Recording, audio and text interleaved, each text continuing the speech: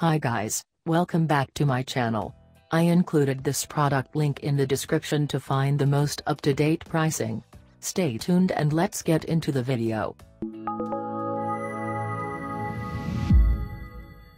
Fox Outfitters Neolite Fox Outfitters comes in with a jab at the double hammock market.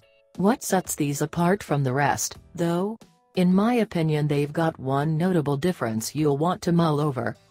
It's worth saying here that the Fox Outfitters Neolite Double takes the prestigious Lightweight Award. Okay, I made that award up, but it is the lightest hammock on our list.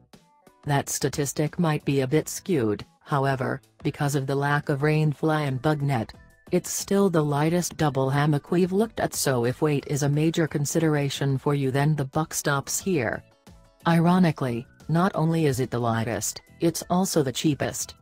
On top of that I personally like the tree straps on this hammock better than any others on our list.